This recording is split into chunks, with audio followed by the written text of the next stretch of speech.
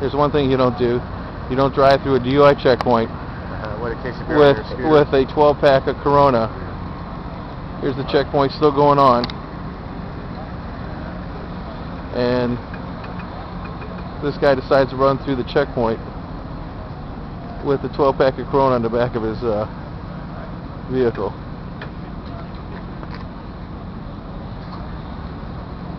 Hey, what's this two things?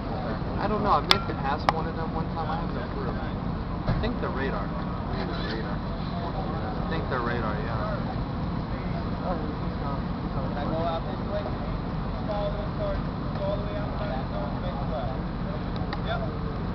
He picked up a case of beer and he's going to party.